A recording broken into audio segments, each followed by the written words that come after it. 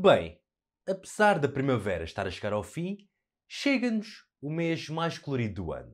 O mês do Pride LGBT começa agora no início de junho e vai até ao final do mês.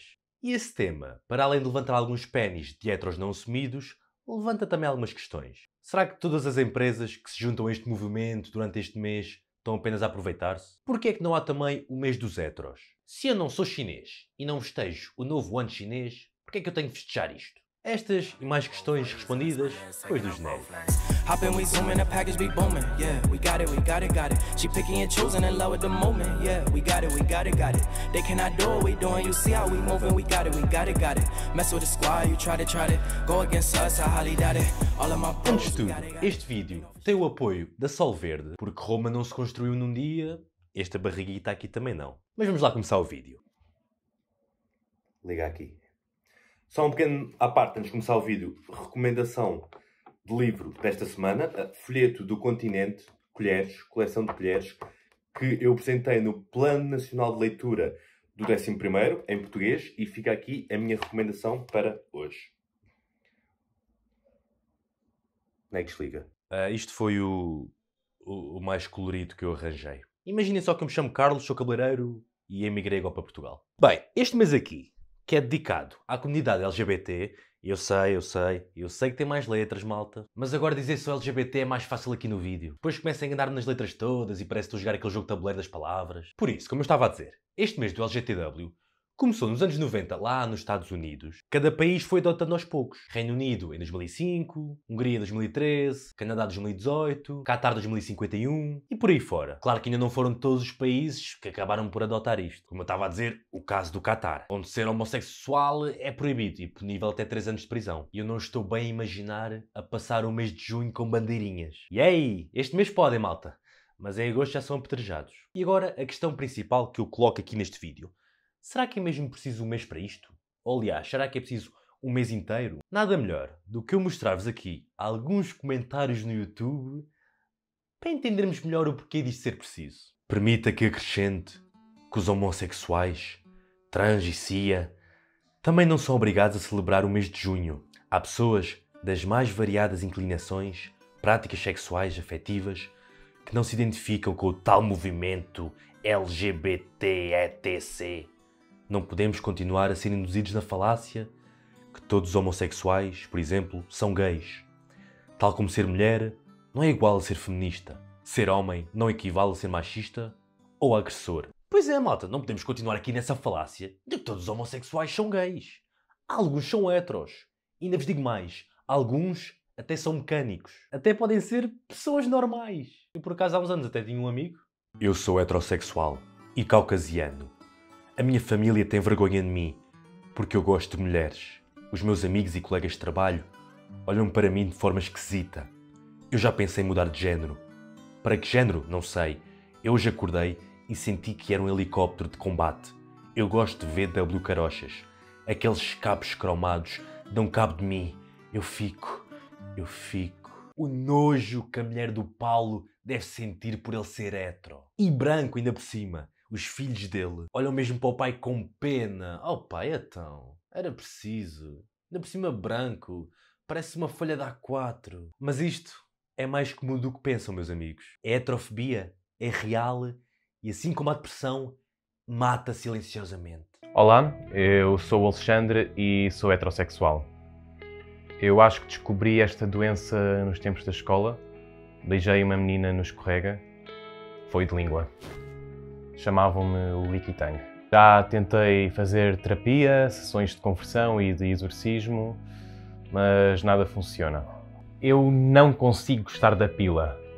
Eu sou tão hetero que nem da minha gosto.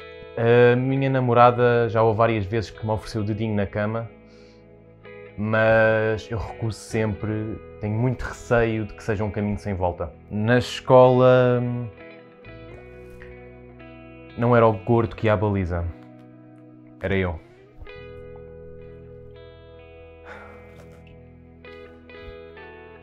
Desculpem.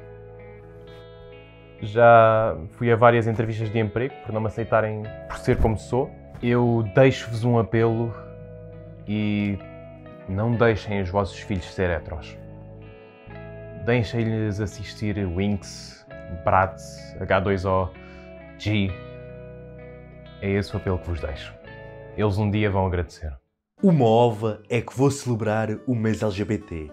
Por acaso também celebra o meu mês, o do orgulho heterossexual? Eu celebrava era se acabassem de vez com as máscaras nos transportes públicos. Isso é que era uma festa para mim. Os LGBT, eu quero é que eles fodam. Ai, coitadinhos, foram toda a sua vida discriminados e postos de parte. Então e eu? Que todos os dias tenho de acordar às seis, apanhar um autocarro para a picheleira e sempre com aquele bocado de pano na cara. Ando cheio de espinhas por causa disso, parece um robalo. Só um pequeno exemplo. Entrei no site da Calvin Klein para comprar sapatos. Entro na secção de homem e deparo-me com uma foto de dois homens a beijarem-se. Porra! Eu entro no site só para comprar roupa e não para saber que há homens que gostam de homens. Coitado do Márcio. Acaba de receber o subsídio de férias.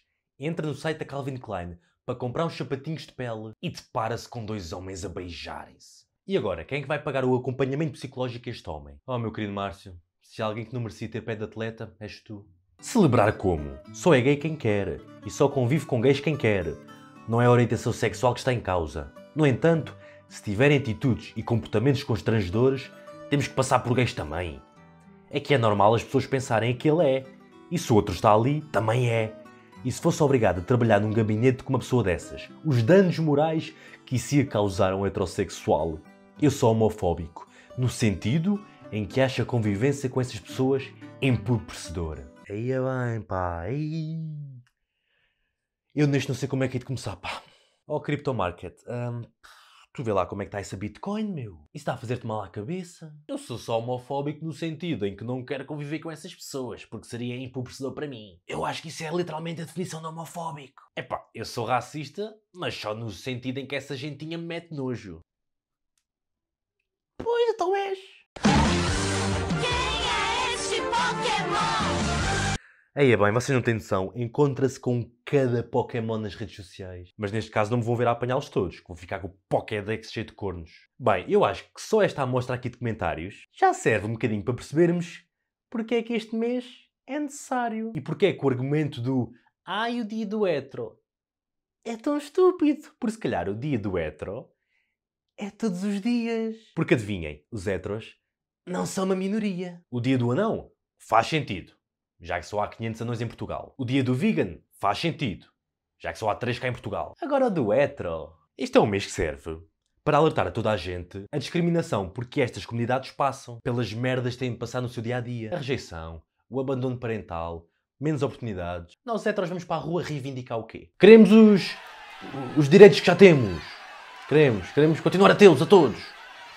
Tudo o que já temos. Queremos, ou seja, queremos tudo igual. Sim. E depois, durante este mês, metem-se aqui outras coisas em jogo, que é as grandes empresas que também entram nisto. Já devem ter reparado que grande parte das empresas, nas redes sociais e assim, mudam a foto, metem a bandeira, porque supostamente querem fazer parte desta luta. Mas a questão é: querem? Querem mesmo? Porque parece que só querem em junho. Ou Coca-Cola. Há gays durante o ano inteiro. É, não é só no verão. Eles não hibernam. McDonald's. Então, Paladin, ai ai. Durante este mês há sempre um grande aproveitamento aqui das empresas e das marcas que eu acabo por não saber bem se é benéfico ou não para a comunidade. Claro que as empresas só querem lucrar e ponto. Ponto final. Isso aqui, isso é óbvio. E lá vão pelo meio apoiando assim umas causas para venderem mais um par de meias. Mas eu não sei, pai, não sei mesmo se isto é bom ou não. Talvez até seja, talvez até ajude. Por mais que não queiram saber e estejam-se a cagar, talvez assim até acabem por espalhar a mensagem e por dar mais voz. Talvez. É mesmo daquelas questões que eu não tenho bem a certeza. Sinceramente, assim como nada na vida. Só sei que nada sei. E mesmo isso acaba por ser demais. Se tiverem uma opinião formada acerca disso, deixem aí embaixo. Olá, boa tarde. Hoje começou a Liga das Nações. Como é que estão por aí as coisas, Nuno Luz? A República Checa e depois também eh, outra vez com a Suíça em Geneve eh, e esta Liga das Nações eh, termina esta Liga das Nações termina em Então, mas quando é que acaba, Nuno? Termina em. Uh, uh, uh, termina em. Então, mas quando é que acaba essa merda, Nuno? Foda-se, o Diogo Faro devia ter dado uns chapadões, mais, mais porrada. Dizia eu que termina, esta Liga das Nações termina em eh, eh, setembro. Pronto, já aí vamos. Usem a Sol Verde. Hoje começa a Liga das Nações e usem o código Cotinho. Este gajo é um hipócrita e não quer passar fome. Bem, malta, foi este o vídeo, pá. Espero que tenham gostado. E não sejam estúpidos, pá. Pelo menos na internet. No café, tá bem, lá com os vossos amigos e tal, mas na internet as pessoas veem, pá. Fica-vos fica mal ser estúpidos. Vá. Até à próxima.